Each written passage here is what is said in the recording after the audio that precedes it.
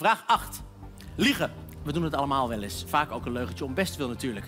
Maar het past nou helemaal gewoon bij de mens. John, what are you eating? Okay. You didn't eat anything. Yeah. Okay. John, look at mommy. Anything. Are you telling me the truth? That. John, can you explain to me why, why the sprinkles are empty? Well, you're not empty. John, Hmm? you have sprinkles on your face. Oh no, no. I did not eat sprinkles. Herkenbaar, hè? Heel herkenbaar. Thuis ook, ik ook. Nee, nee hoor. Nee hoor, niet gedaan. Hoeveel keer per jaar liegt een mens? Gemiddeld, zo blijkt uit onderzoek van de psycholoog Dr. Kouwenhoven van de Universiteit van Amsterdam. Hierbij gaat het natuurlijk van echt grote leugens tot en met kleine leugentjes. Zoals je wel eens zegt, ja, wat zie je er goed uit? Dat je dan denkt, helemaal niet. Ga je gang.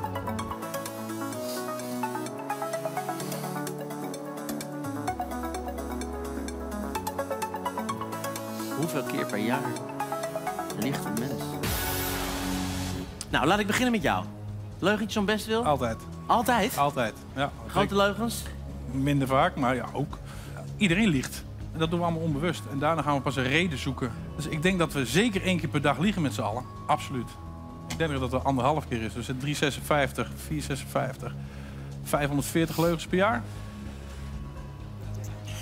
Misschien lig ik dan wel iets te laag. Maar ja, die halen het misschien wel. Ja, 530 leugens in een jaar. We noteren het. 530 leugens per jaar. 530 leugens. 530 leugens per jaar. Nou, staat hierbij vast. Wat is het gemiddelde antwoord? De inschatting van de crowd. Hoger dan jij, 728.